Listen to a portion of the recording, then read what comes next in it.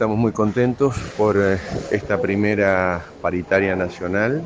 Creemos que los ámbitos de encuentro y de diálogo son necesarios para eh, toda la sociedad y especialmente para el sector educativo.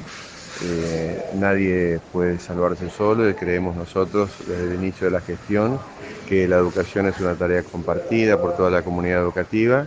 Por eso creo que es un día histórico para la educación argentina, el haber podido encontrarnos, dialogar y empezar a encontrar los caminos para mejorar las condiciones en las cuales llevamos adelante el servicio educativo en todo el país.